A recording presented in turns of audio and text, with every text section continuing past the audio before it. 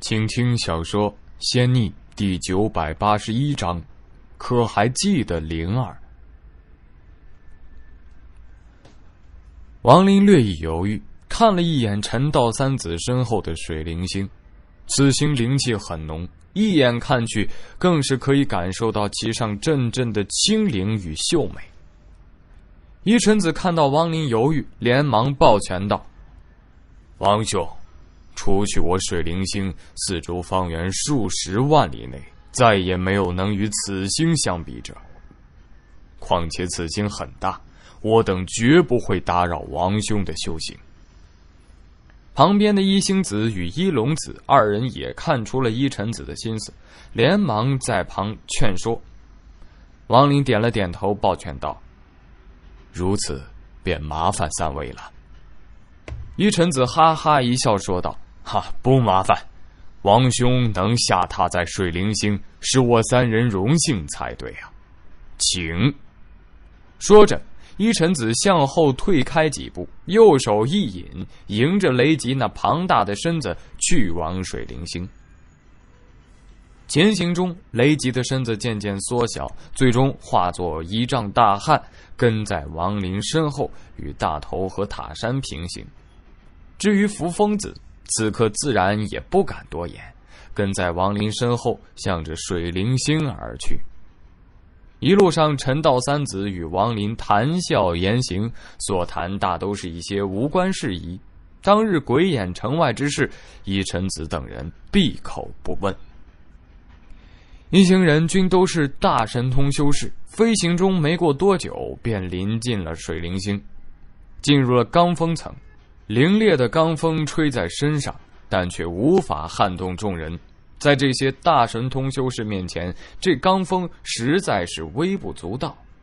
很快的，众人踏出罡风层，王林便在四周众人如捧月一般降临在了这陌生的水灵星。刚一出罡风层，立刻便有浓郁的灵气弥漫。王林深吸了口气，露出赞叹。一臣子三人始终陪在旁边，看到王林的神色，一臣子暗自得意，心道：这水灵星可是附近数十万里内最好的一颗修真星，若非是他三人师尊的原因，根本就不可能让他们三个占据。此星不错，王林笑道。一臣子哈哈一笑，说道。若是王兄喜欢，可在此地常住啊！老夫欢迎。正说着，远处几只仙鹤从云中飞出，动作极为优美。在其中一头仙鹤上，还坐着一个身穿蓝裙的少女。这少女相貌秀美，人还未到，便有阵阵如银铃般的笑声传来。师姐。你说发现了一处地下的泉眼，到底在哪里呢？在这女子身后的仙鹤上，坐着一个身穿紫衣女子。这女子容颜冰冷，但却有着惊人的美貌，洁白如玉般的肌肤，更有莹润之色入眼。那精致的五官，让所有看到者都会双眼为之一凝。在这女子身上，抛去了那冰冷。唯有四个字可以形容：赏心悦目。他的冰冷，唯独在面对前方少女时才有所缓和，露出微笑，轻声道：“小妹不要急，不远了。”正说着，他一眼就看到了陈道三子与王林众人，美目一扫，这女子站起身子，恭敬道：“弟子赵雪见过师尊与各位师叔。”陈道三子中的老二一龙子，他微微一笑，看向王林，说道：“王兄，这是刘某弟子赵雪。”说完，他又向那紫衣女子说道：“赵雪，还不来参见这位王前辈？”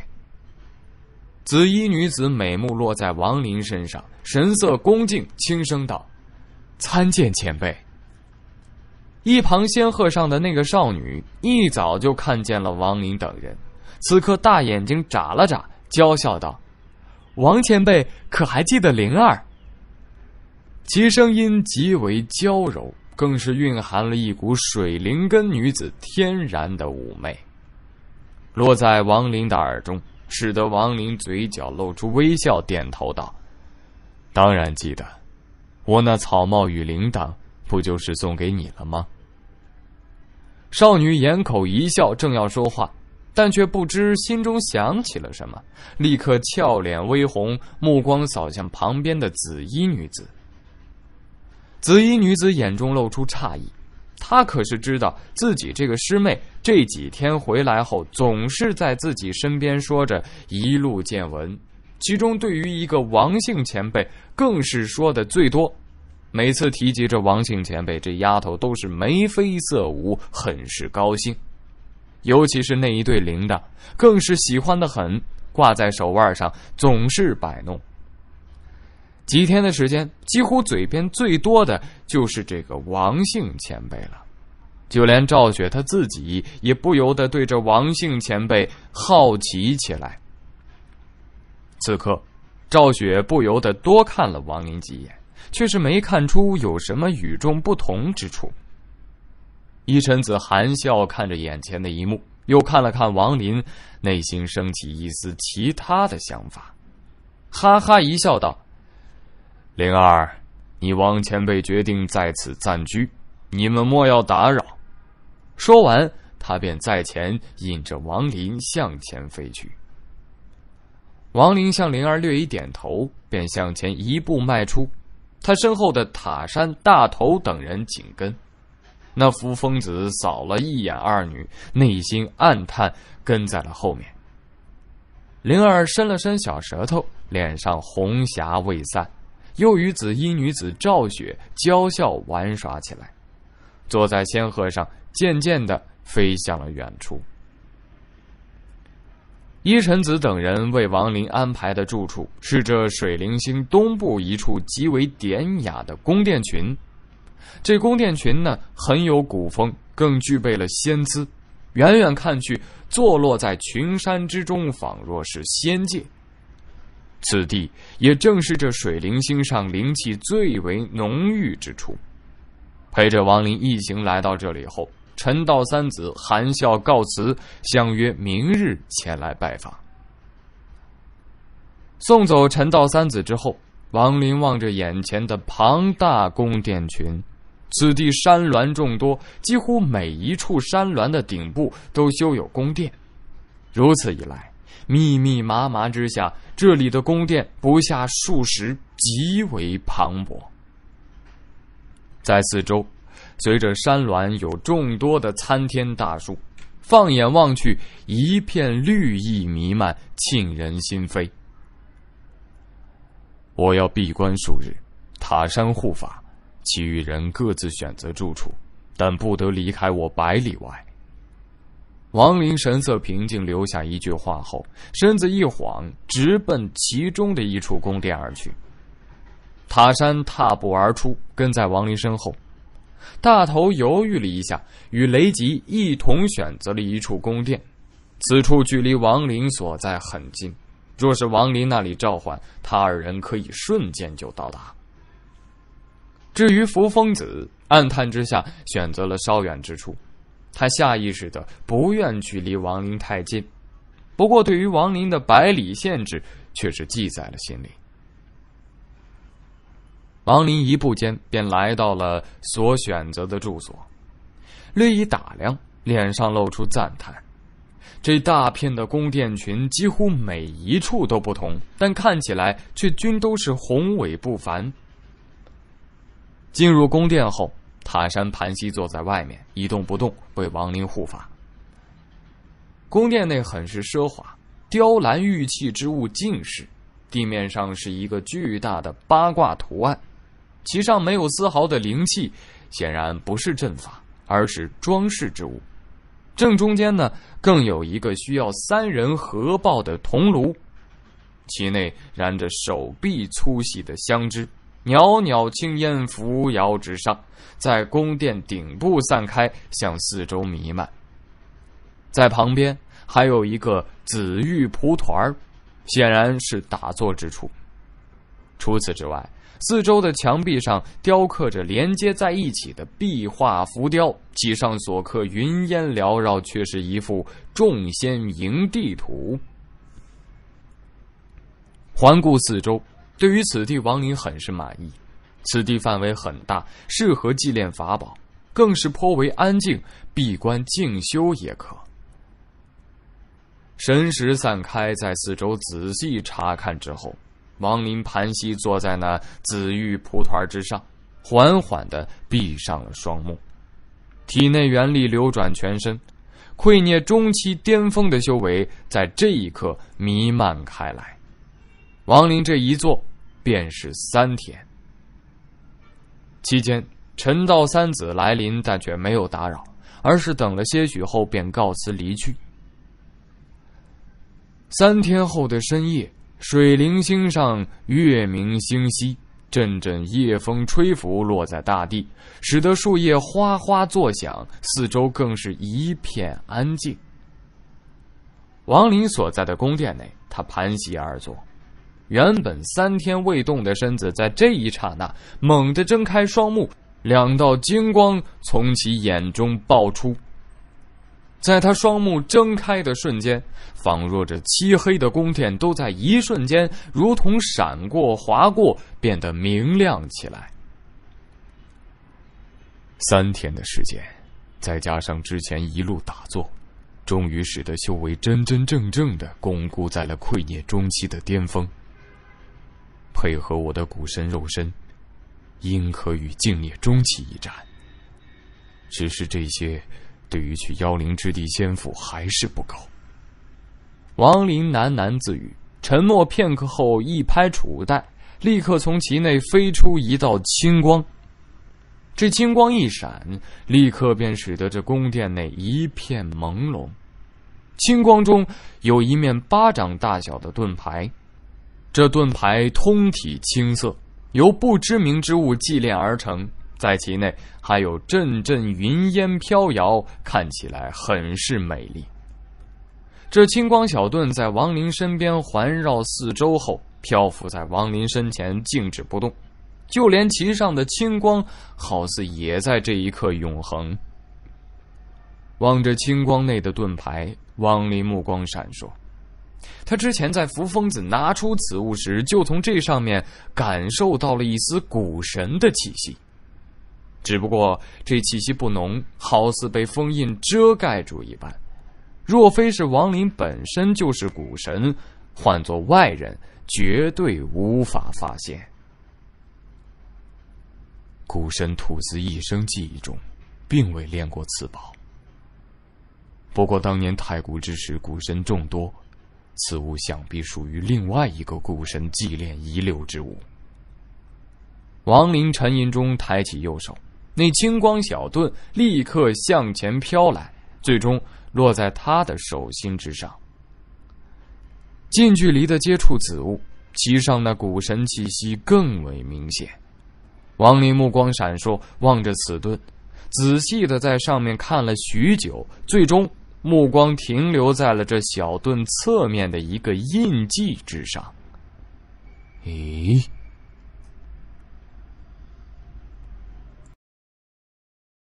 小说《仙逆》第九百八十二章：青光盾。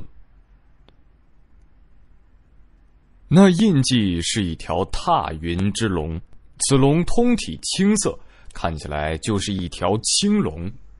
此盾内散发出古神之气，就是在这印记下被阻拦，使得古神气息无法散出太多，始终被禁锢在盾牌内，无法外泄。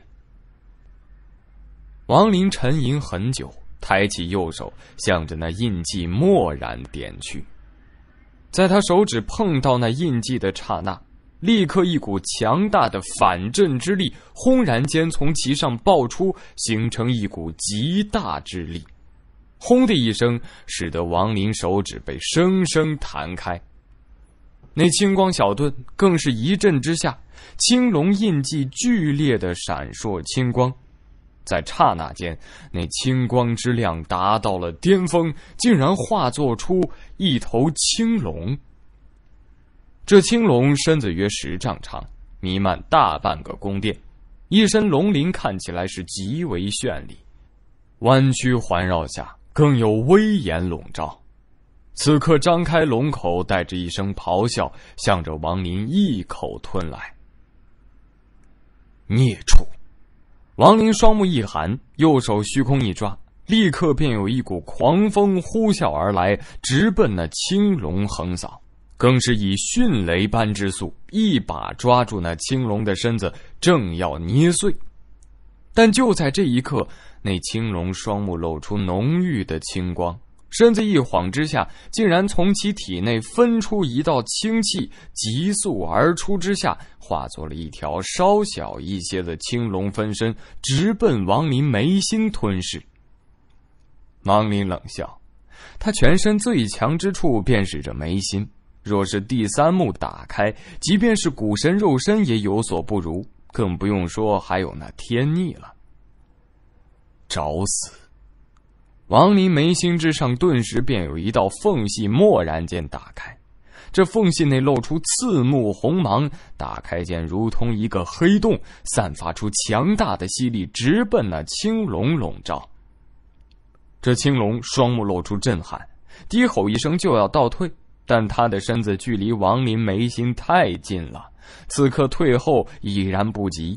在王林眉心第三目打开的刹那，便直接被彻底的吸入其内，唯有那阵阵龙啸的余音还停留在这宫殿内环绕。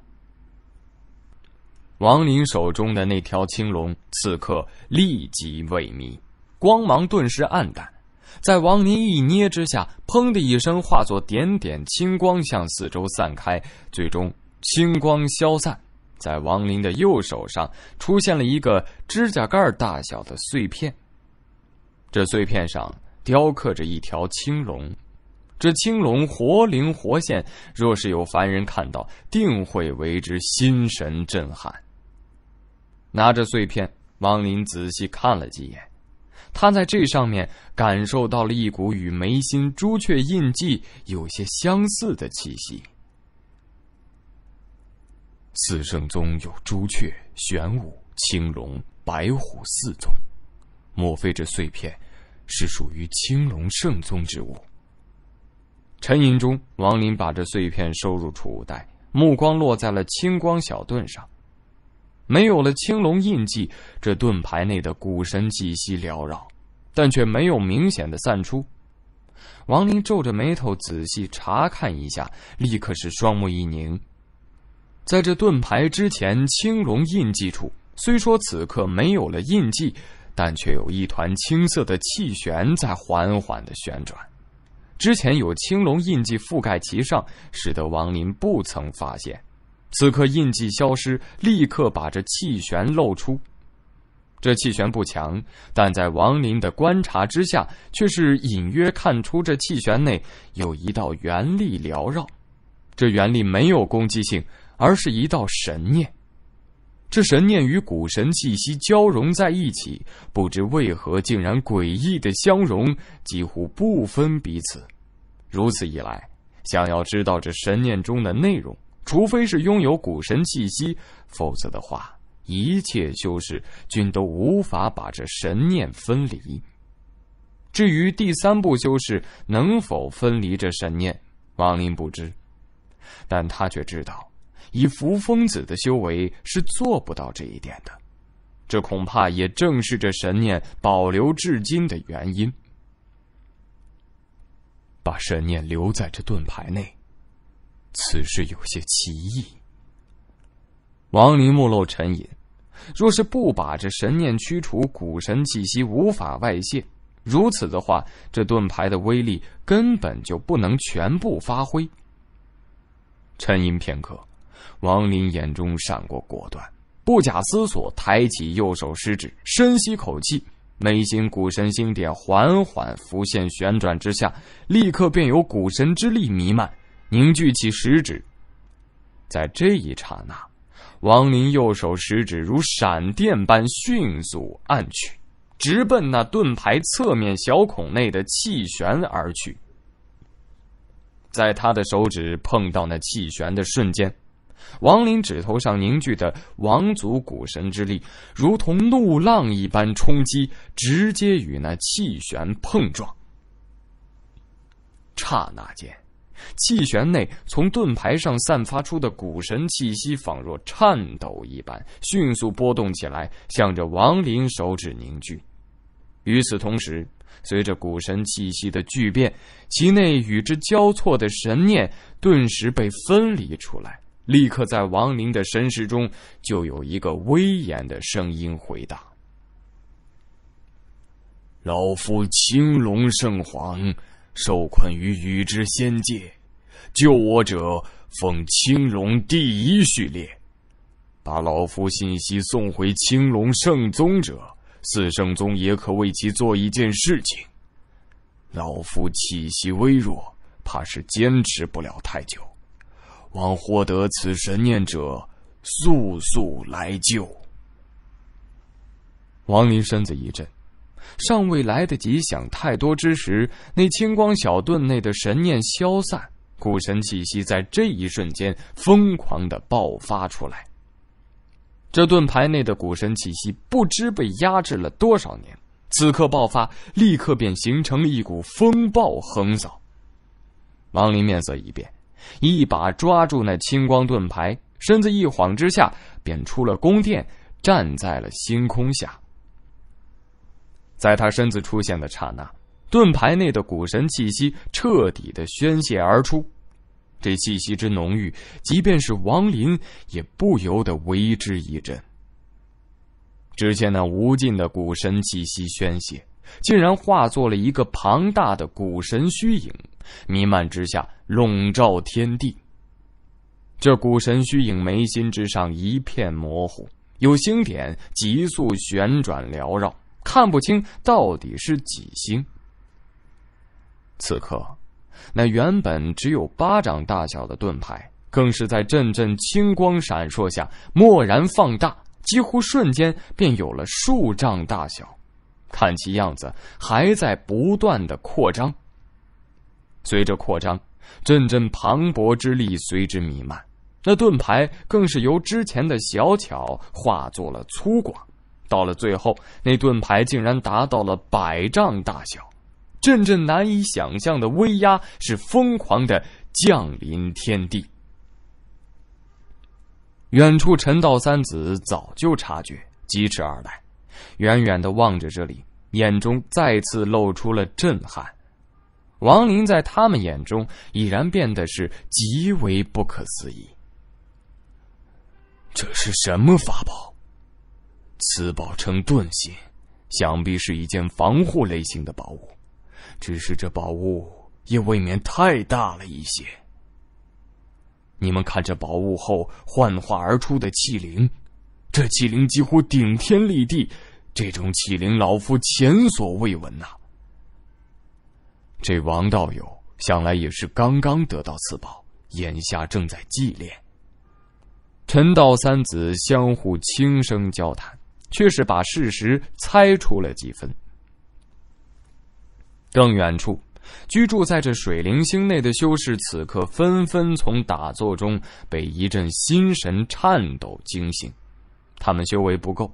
此时只能感觉到这天地之间被一股难以想象的威压弥漫，丝毫不敢挪动身子，仿若只要自己一动，这天就是踏下，把自己生生碾碎。少女灵儿原本正在盘膝打坐，身前放着一对铃铛，越看越是喜欢，但就在这时，突然便感受到了那天地之间的威严。在他感受到这威压的瞬间，一道柔和的蓝光从他胸口散出，弥漫全身，为其抵抗。蓝光下，灵儿只是略感不适，他一皱秀眉，起身走出房间，向远处看去。这一看，却是让他张大了小口，一眼的不可思议。只见在他目光尽头的天边。一个虚幻的巨人半蹲着身子，仅仅如此就已经是顶天立地了。若是这巨人完全站起，怕是一跺脚，这水灵星就会崩溃。大头等人此刻也立即是闪烁而出，望着天空的一幕，立刻是呆了一下。那雷吉则是身子颤抖，眼中露出崇敬，望着盾牌后幻化而出的巨大虚影。他清晰的记得，在巨魔星上皇族禁地中，有一面图腾圣物，那圣物上所刻画的正是如眼前般的庞大巨人。扶风子是第一个察觉异常者，此刻他飘在半空，神色极为复杂。望着王林身边那巨大的盾牌，这盾牌是他当年与一仇家厮杀之后杀人所获。研究之下，立刻大为惊奇，隐约间知晓此物怕是与四圣宗有些关联。轻易他不会施展而出，之前也是为了逃命，生死危机下才咬牙拿出的。至于其上的青龙印记，他可以破除。但以他的修为，却是看出在那青龙印记下还有一处气旋，那气旋任凭他如何想办法，都始终无法破开，最终唯有保持现状不变。但此刻他却没想到，这盾牌一到王林手中，竟然就被其打开了气旋封印。内心复杂之下，他对于王林无形之中更添忌惮。这王林不简单呐，跟在他身边，倒也不算太过辱没了我扶疯子的身份。扶疯子长叹。王林目光凝重，直勾勾的盯着那仍然还在不断膨胀的盾牌。这盾牌此刻已然从之前的一百多丈增长到了近三百丈大小。近距离看去，这盾牌就仿若是一片高墙，其做工很是粗糙，但却没有任何人敢小看这盾牌的威力。这，才是古神的法器。盾牌后的古神虚影，随着盾牌不断的膨胀，其身子也渐渐的更为庞大起来。到了最后，其大小已然超过了水灵星能看到的一切。就在这一瞬间，盾牌“嗡”的一声停止了膨胀，其后的古神缓缓低下头，他仅仅是头颅便把这天空覆盖。其眉心之上旋转的星点渐渐的缓和下来，最终“砰”的一声彻底的停顿。在其停顿的刹那，王林双目爆出金光，露出狂喜与震惊之色。这，这是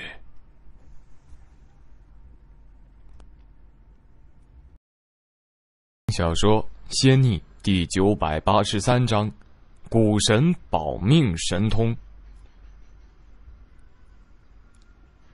在那虚幻的陌生古神眉心有八个星点，若仅仅如此也就罢了，王林不会太过震惊。但在第八个星点之后，竟然还有一个。这一个星点很是模糊，仿若尚未彻底凝聚，但显然已经初具星形。只差一步，就可以成为九星的惊天古神。王林倒吸口气，他怎么也没想到，这个盾牌竟然是这样一个古神之物。那虚幻的庞大古神，在眉心星点停顿的瞬间，身子轰的一声崩溃，化作点点金光，向着星空弥漫开来。在这一刹那，整个水灵星上仿若白昼一般，任何一个地方都在那金光照耀下处于明亮之中。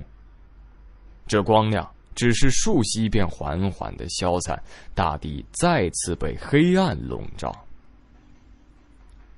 在王林的面前，那盾牌达到了近千丈大小，竖立之下就仿若是一道天地壁垒，隔绝阴阳。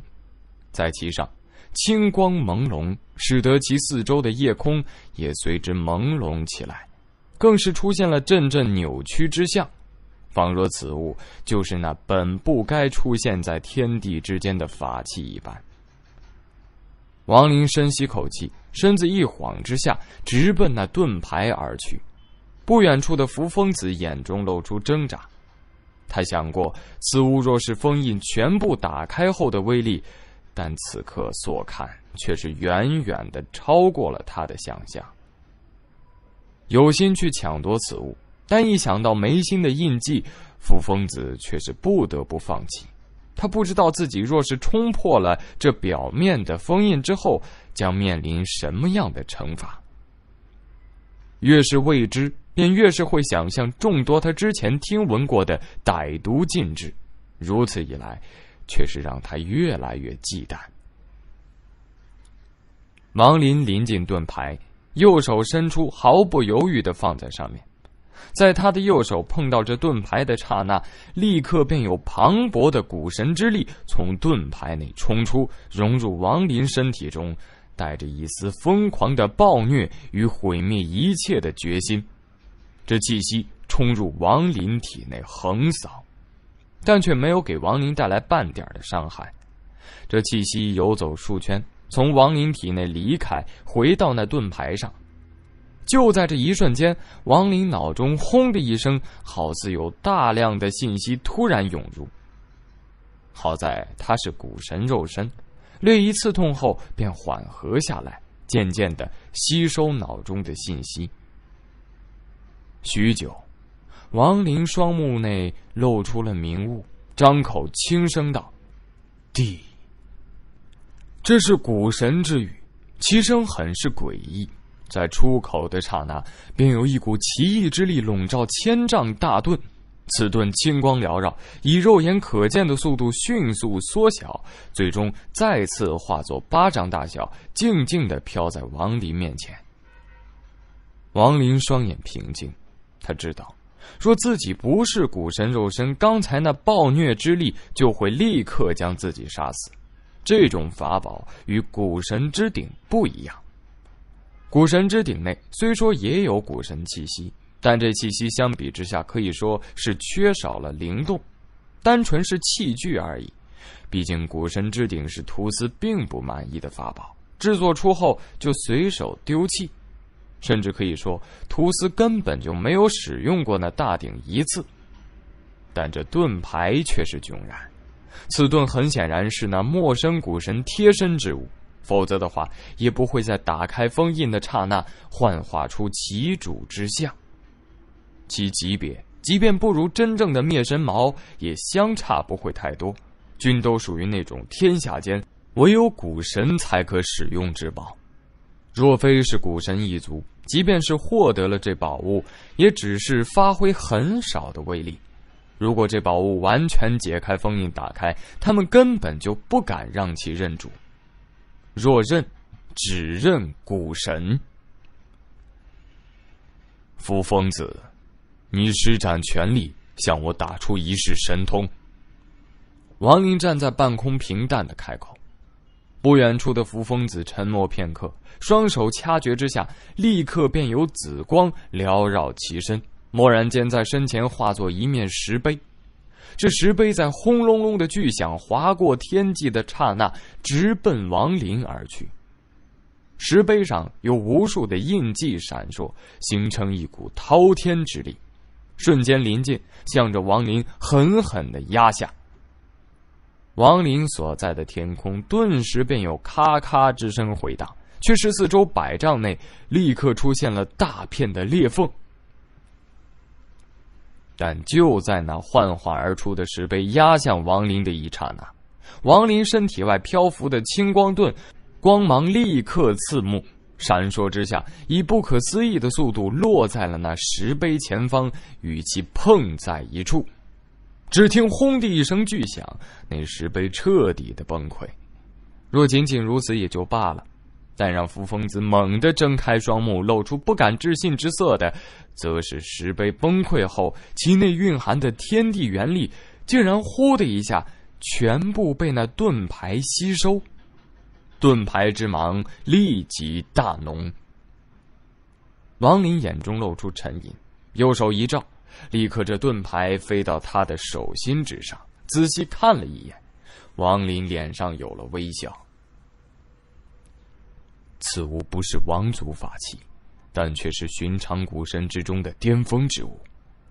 按照之前脑中获得的传承信息，此物若是吸收了足够的天地之力，可以开启当年那陌生古神封印在内的保命神通。以亡灵的定力，此刻也不由得怦然心动。能让八星古神当做保命的神通，会多强？王林深吸口气，目光落在盾牌上。双目一闪，立刻这盾牌再次缩小，直接化作了一道绿芒，融入王林右眼瞳孔内。此刻的王林一头长发下，右眼极为诡异，透出一股无尽的蓝，让人一眼看之便绝不会忘记。此刻，在距离水灵星很远之处，天运星外一道长虹呼啸临近。那长虹内正是司徒南，在他四周弥漫了磅礴的天地元力，一头黑发飘动下，露出那粗犷却带着邪气的容颜，使得他整个人看起来仿若魔神。他并非一人，在其身边还有一个女子，这女子相貌秀丽，更是带着一股妩媚风骚之感，身穿纱裙。飞行间，纱裙贴在身上，露出凹凸有致的妙曼曲线。这该死的天运星，怎么这么难找？老子在这儿绕了好几圈了，幸亏遇到了仙子妹妹啊，否则的话还真找不到。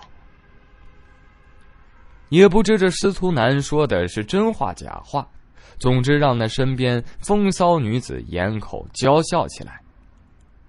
司徒前辈来这天运星，不知所谓何事呢？这女子双目带媚，娇声道：“哈哈，老子来这里是为了一个兄弟，多年不见，不知当年故人现在修为几何呀？”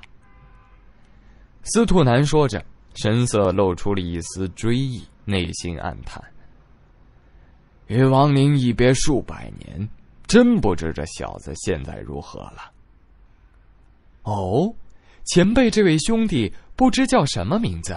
或许晚辈还认识也说不定呢。那风骚妩媚的女子美目流盼，笑道：“听小说《仙逆》第九百八十四章《梦如轮回》。我那兄弟不好美色。”估计你是不大可能认识。司徒南嘿嘿笑道，说着，他大手悄然无息的放在了妩媚女子的蛮腰之上，用力的捏了一把。那女子不依起来，正要反抗，却被司徒南用力一把，直接是抱在怀里，长啸中身子向前一晃，直奔前方天运星而去。小娘子莫要着急。这一路上，老子把你喂饱了多少次了？你说红粉宫内姐妹众多，咱们先去你那里看看，到底有没有你说的那么绝艳？那女子掩口一笑，目光妩媚，娇声道：“定会让司徒前辈满意，到时候可别忘记我们红粉宫的姐妹呀。”司徒南听闻此话，内心很是痒痒。不由得想到了凤鸾星上那几个角色，暗道：若是有一天可以称霸凤鸾星，与王林一起兄弟俩左拥右抱，定是人生一大乐事。可惜这小林子是块木头，枉费我当初数百年的教导啊！司徒南这里逍遥快活，暂且不说。此刻，在距离天运星很远的水灵星内，王林右目闪烁蓝芒，大袖一甩，便直接回到了居住的宫殿内，再次闭关起来。四周旁人相继散去，水灵星再次恢复了夜幕的宁静。这一夜，注定会有太多的人无眠，甚至连打坐都会无法定心。陈道三子如是，扶风子如是，还有那名为灵儿的少女同样如是。他怎么也挥不去脑中那仅仅是半蹲便已然顶天立地的身影，无法定心打坐，唯有躺在床上辗转反侧，总是无法静下心来。为什么我看到那巨大的身影，会有一种梦入轮回的感觉，好似在那一刻心中起了从未有过的崇敬？灵儿很是想不明白。一直到天色快要亮时，才迷迷糊糊的睡了下去。睡的时间不长，但在梦中却好似经历了一生。在梦中，他好似换了一个人，穿着陌生的衣服，在一处既熟悉又陌生的世界，天空一片蔚蓝，如同绸缎，美得让人炫目。而他。则是站在一处高耸入云的祭坛上，在祭坛下站满了一个个穿着奇异衣衫的男男女女，这些人此刻全部都是跪在地上，发出奇异的咒语之音，弥漫天地。他伸开双臂，神色一片崇敬，望着天空，好似在呼唤，在与这天地沟通。许久。天空突起风云，骤然变化起来，云层蓦然而现，滚滚而来，把蔚蓝的天空全部遮盖。祭坛下的所有人，咒语之声更浓，一个个神色全部露出了激动与极端的恭敬。而他，则是单膝跪在地上，双手宝瓶状放在胸口。头颅抬起，露出修长洁白的颈部，做出一个古怪的动作后，好似有一个声音从他口中传出。就在这一瞬间，突然天空的云层是剧烈的翻滚起来，渐渐的，却是有两道强光从云层之上透出，直接穿过云层，落在了大地。云层被一股奇异之力弥漫。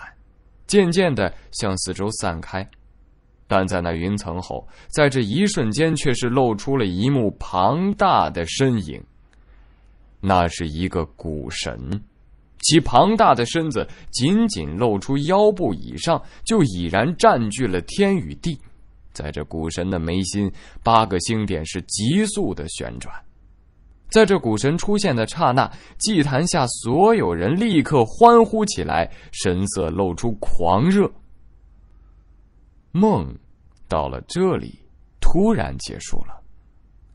灵儿睁开双眼，怔怔的望着床顶。这个梦并非是第一次出现，而是从他有意识后时常回荡。这是他心中的一个秘密，他自己也不知道为什么。下意识的不愿意把这个梦告诉任何人。时至今日，就连他最好的姐妹赵雪都不知晓，就连他的祖辈一臣子也不知道此事。原本灵儿一直觉得这只是自己的一个奇怪的幻想罢了。虽说同样的一幕在梦中看到了很多很多次，但全部都是隔着一层纱，看不真切。第一次看得真切，是当日遇到了那位王姓前辈后的夜里。尽管外面发生了惊天巨变，但他却是在梦中从未苏醒。那一日的梦里，他真切的看到了这一切，甚至就连他自己都有些奇怪：为何初一见到那王姓前辈，便不由自主的心中有了一丝亲切？这让他很是奇怪。尽管如此，但他还是没有太过在意。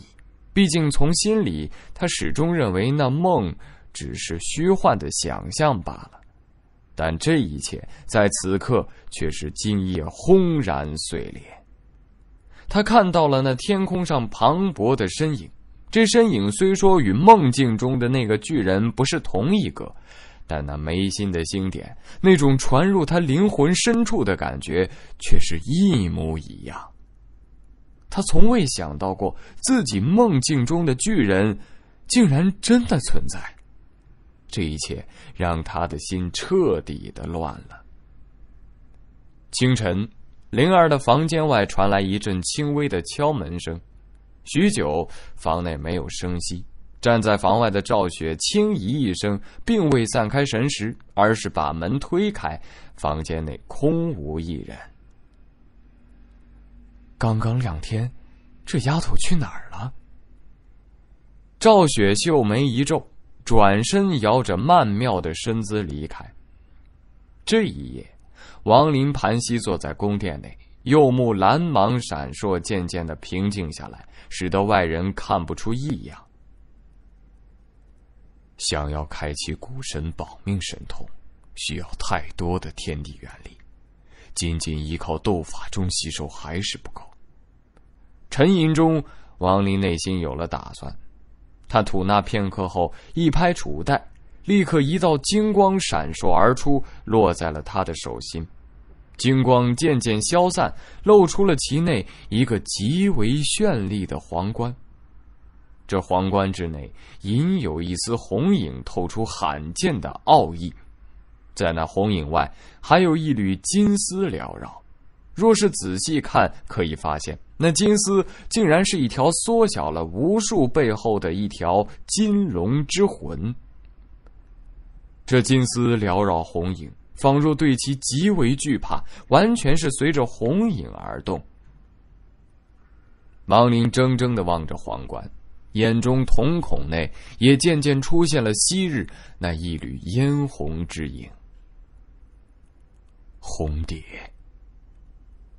红蝶当年临死之时，曾让王林去一趟他的家乡，在那里，王林找到了一只蓝色的玫瑰，那玫瑰透出的傲与红蝶是一模一样。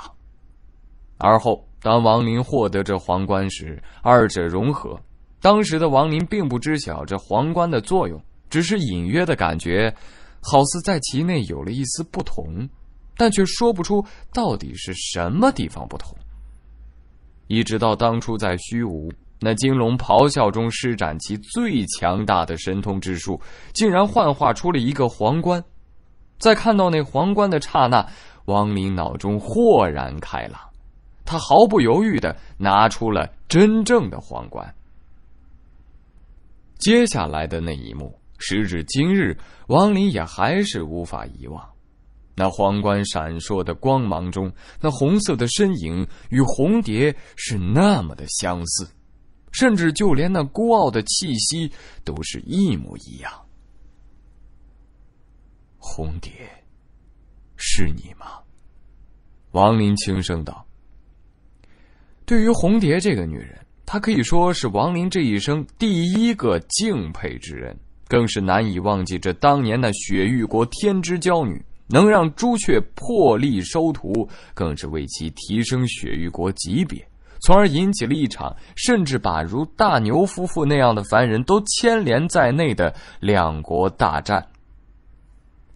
王林话语落下的瞬间，那皇冠内的红影一颤，但却没有回应。而是渐渐的消散，仿若避而不见。王林暗叹，仔细看了皇冠一眼，收起放入储物袋后，他目光一闪，露出凝重之色。把接下来的此物，若是能祭炼操控成功，此去妖灵之地的把握又会多了一些。王林深吸口气。一拍储物袋，立刻一股阴气弥漫。只见一具散发银光的女子尸体缓缓的出现在了王林面前。当日罗天与联盟大战，联盟方面拿出了获自害玉界的炼尸，这女子便是那三个顶级炼师之一，在其受伤后被王林抢到了手中。这女子身穿银衫。把身体包裹的凹凸有致，若非是尸体，定然也是一个千娇百媚的尤物。只是如今这女子面如死灰，苍白的可怕，阵阵阴气从其身上散出，转眼间就把房间弥漫。在这女子的身上还有两根铁链，一根锁住其琵琶骨，一根锁住盆骨。这铁链通体紫黑，更有丝丝恶臭传出。若是有凡人闻之，立刻就会暴毙而亡。即便是修士，如果修为不高，闻之也会立即中毒，轻则重伤，稍微多吸几口，同样也会毙命。若能操控这具炼尸，便又多了一个敬业初期的助力。王林目光闪烁，他当年冒险抢到此物，眼下却是到了收获之时。正观察中，王林忽然神色一动，右手在身前一挥，立刻便把这炼尸收起。大袖甩动间，宫殿内的阴气与那毒素是瞬间消散。不多时，宫殿外传来了一个略带犹豫的娇柔声音：“王，王前辈，我是灵儿。”此刻外面天色蒙蒙亮。但还有夜风吹拂，水灵星的黎明，风很冷，吹在灵儿的身上。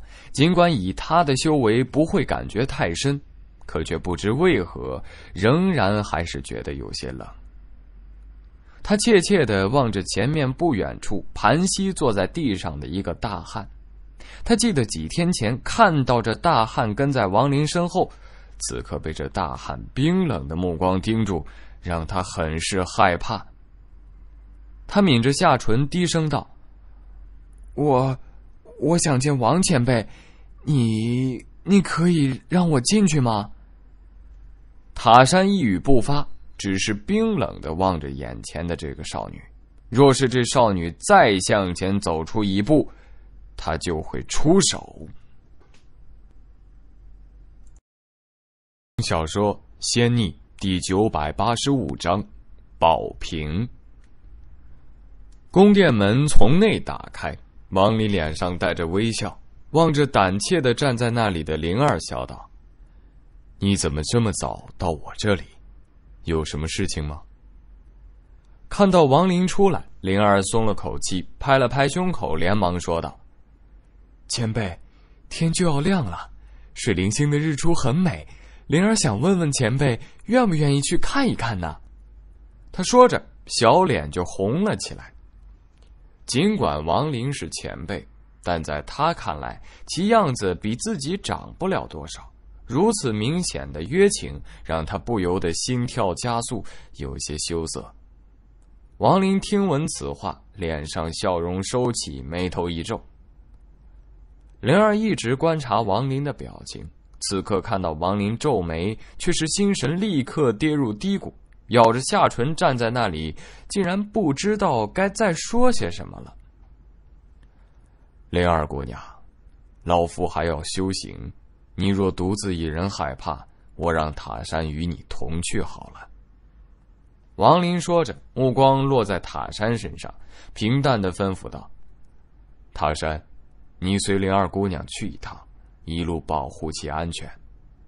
说完，王林不再去看那灵儿，转身就向宫殿内走去。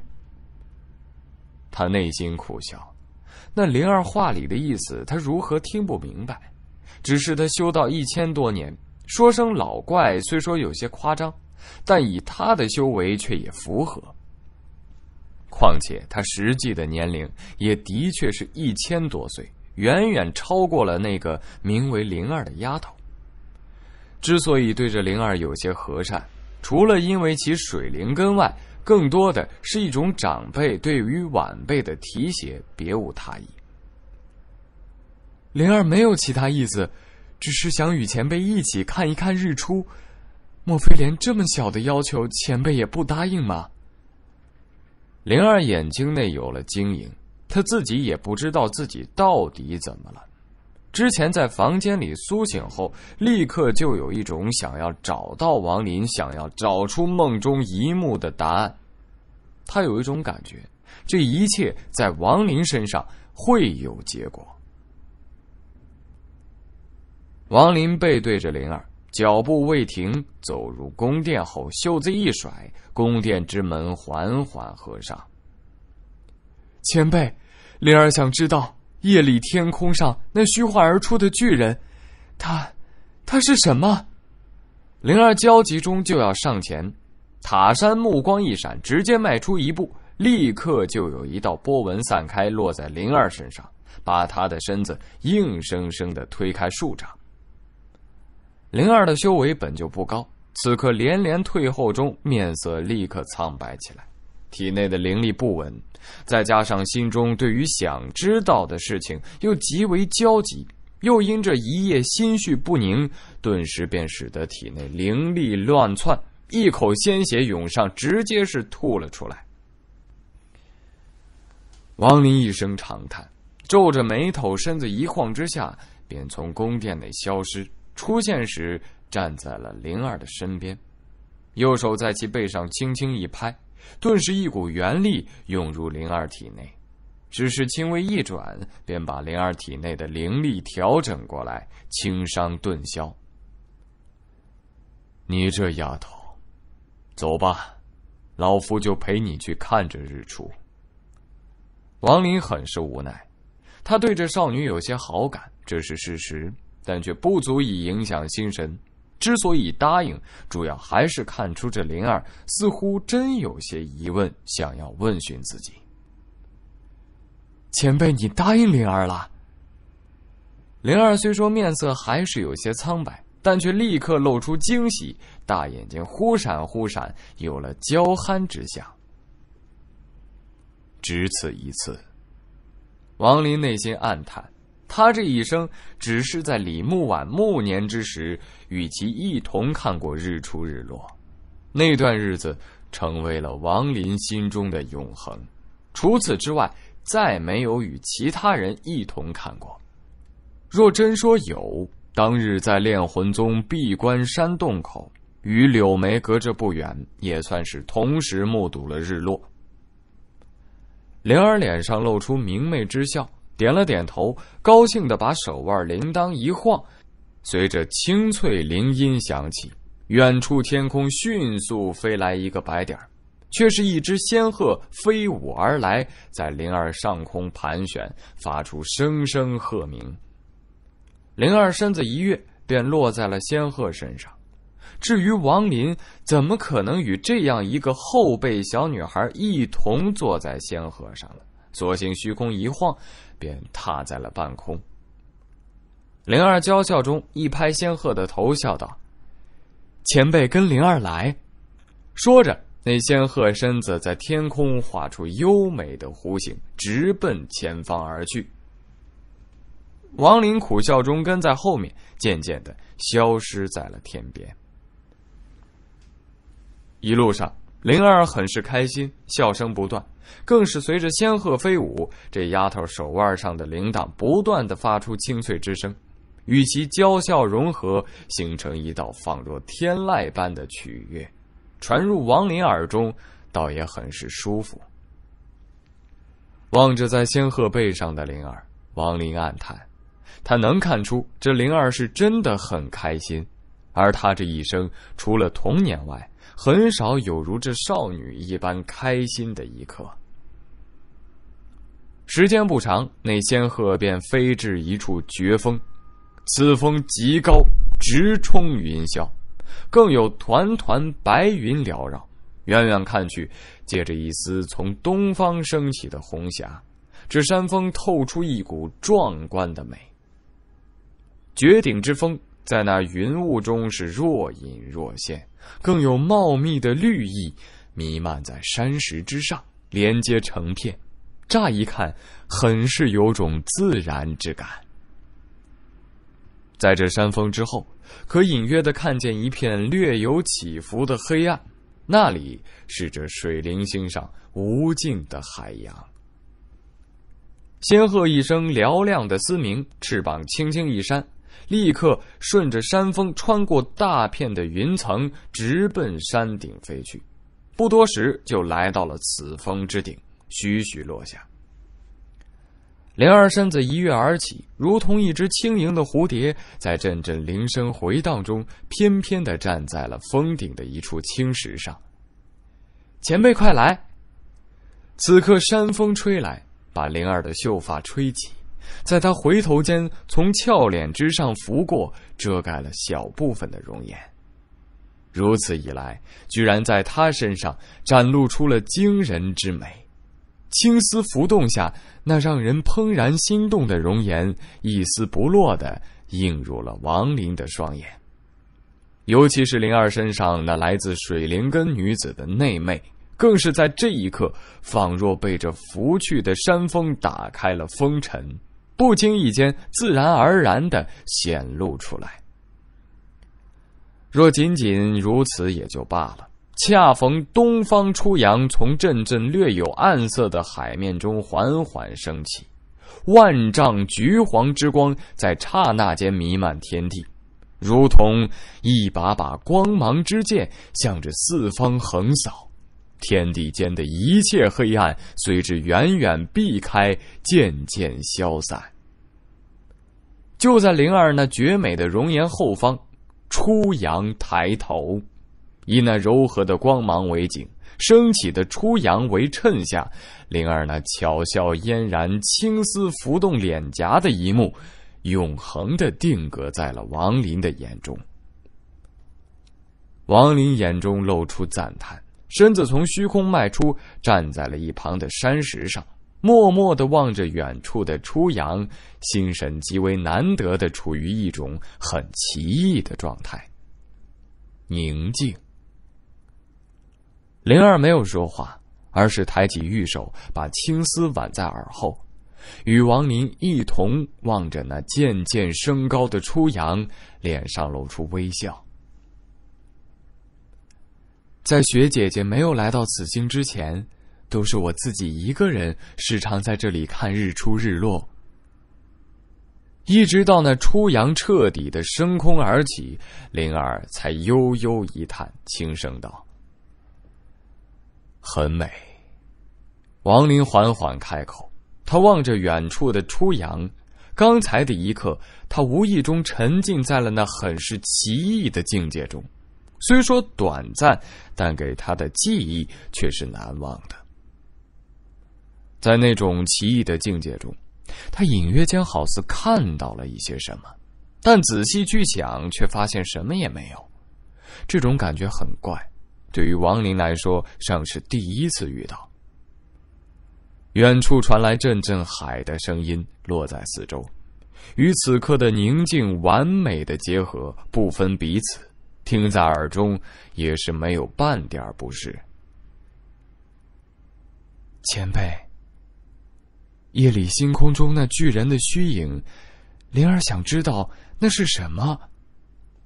许久，灵儿轻声道：“王林望着远处天空那已经升起的初阳，沉默了片刻，缓缓说道：‘是我法宝的一个器灵而已。’灵儿咬着下唇，看着王林，摇头道：‘前辈莫要糊弄灵儿了，我知道。’”那不是气灵，那应该是一个现在已然灭绝，而很久很久之前这星空下最强大的存在。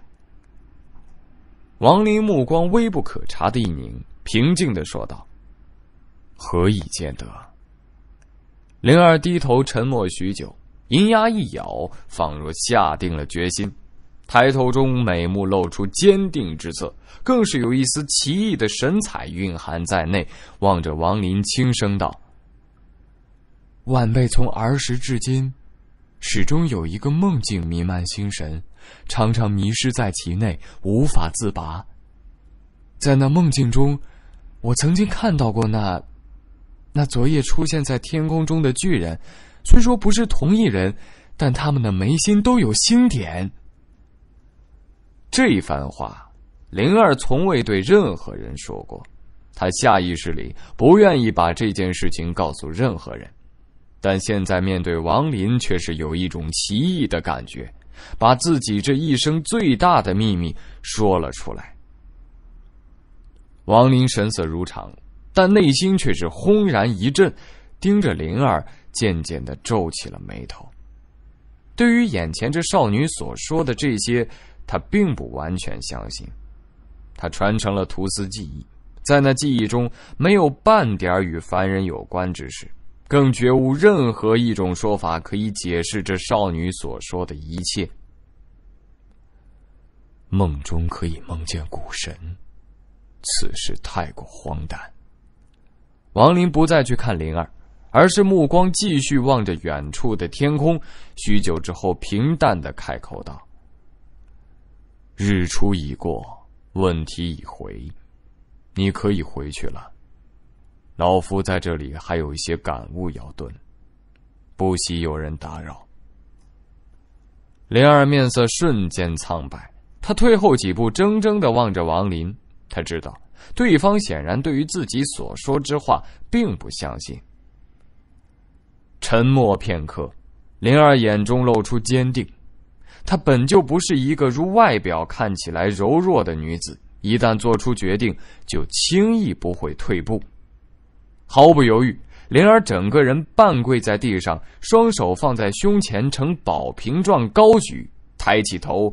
露出修长的颈部，做出了在那梦中看过千百次永恒定格的动作。王林双目蓦然间一凝，脑中好似轰的一下。